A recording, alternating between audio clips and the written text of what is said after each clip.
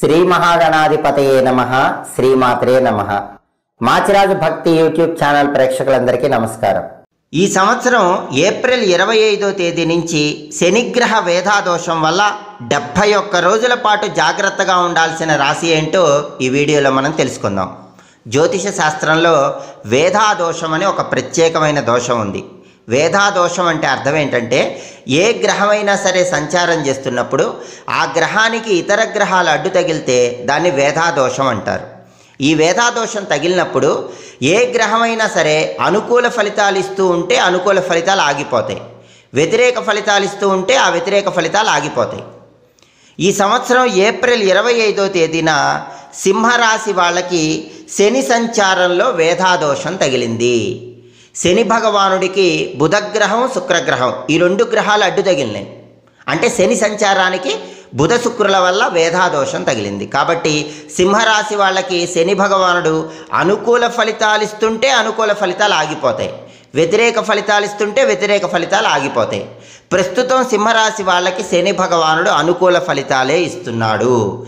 సింహరాశి వాళ్ళకి శని భగవానుడు ఈ సంవత్సరం జనవరి ఇరవై నాలుగో తేదీ నుంచి సువర్ణమూర్తిగా సంచారం చేస్తున్నాడు. అంటే పూర్తిగా అనుకూల ఫలితాలను ఇస్తున్నాడు.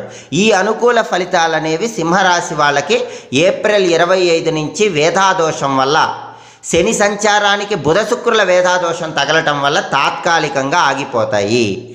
ఈ వేదాదోషం అనేది మూడు దశలుగా ఉంటుంది. మొదటి వేధ అనేది ఏప్రిల్ ఇరవై ఐదు నుంచి మే తొమ్మిది వరకు అంటే పదిహేను రోజుల పాటు ఈ గ్రహాల అడ్డు వల్ల తగులుతోంది. ఆ తర్వాత రెండవ వేధ అనేది ఆగస్టు పదిహేడవ తేదీ నుంచి అక్టోబర్ నాలుగో తేదీ వరకు నలభై తొమ్మిది రోజుల పాటు తగులుతోంది. అంటే ఈ నలభై తొమ్మిది రోజులు కూడా శని భగవానుడు సింహరాశి వాళ్ళకి ఇచ్చే శుభ ఫలితాలు అనేవి ఆగిపోతాయి. తాత్కాలికంగా ఎలాంటి శుభ ఫలితాలు ఉండవు. ఇక మూడవ వేధ అనేది ఈ సంవత్సరం డిసెంబర్ ఇరవై ఐదు నుంచి డిసెంబర్ ముప్పై ఒకటి వరకు. అంటే ఏడు రోజులు తగులుతోంది. అంటే మొత్తం సింహరాశి వాళ్ళకి శనిగ్రహ వేదాదోషం ఎన్ని రోజులు ఉందంటే మొదటి వేద పదిహేను రోజులు రెండో వేద నలభై తొమ్మిది రోజులు మూడో వేద ఏడు రోజులు. మొత్తం కలిపితే డెబ్భై ఒక్క రోజుల పాటు శనిగ్రహానికి వేదాదోషం తగిలింది. కాబట్టి శని భగవానుడు ఈ సంవత్సరం సింహరాశి వాళ్ళకి అనుకూల సంచారం చేస్తున్నప్పటికీ సువర్ణమూర్తిగా ఉన్నప్పటికీ అద్భుతమైన శుభ ఫలితాలు కలిగిస్తున్నప్పటికీ ఈ డెబ్భై ఒక్క రోజుల పాటు మాత్రం ఈ మూడు వేధాదోషాలు ఉన్నప్పుడు మాత్రం ఎలాంటి శుభ ఫలితాలను కలిగించడు. కాబట్టి సింహరాశిలో జన్మించిన స్త్రీ పురుషులందరూ కూడా ఈ మూడు వేధలు ఎప్పుడున్నాయో చూసుకొని ఆ సమయంలో మాత్రం ఎలాంటి ముఖ్యమైన కార్యక్రమాలు చేయవద్దు ముఖ్యమైన నిర్ణయాలు తీసుకోవద్దు. ఒకవేళ ముఖ్యమైన నిర్ణయాలు తీసుకునేటట్లయితే శని భగవానుడికి అధిష్టాన దేవుడైనటువంటి ఆంజనేయ స్వామి వారిని మనస్సులో స్మరించుకొని కీలకమైన నిర్ణయాలు తీసుకోండి ముఖ్యమైన వ్యవహారాలు నిర్వహించండి. దానివల్ల శుభ ఫలితాలను సిద్ధింపజేసుకోవచ్చు.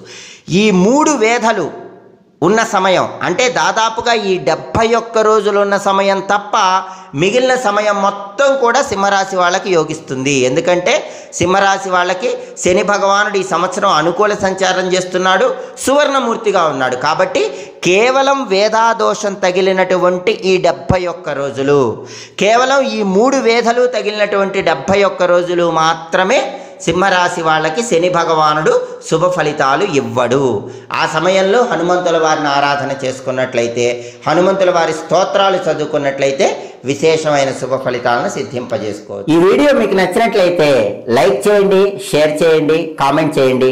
అలాగే మా ఛానల్ని తప్పకుండా సబ్స్క్రైబ్ చేయండి. పక్కనున్న బెల్ సింబల్ ఒకటి మాత్రం మర్చిపోకండి. సర్వే జనా సుఖినో భవంతు. స్వస్తి.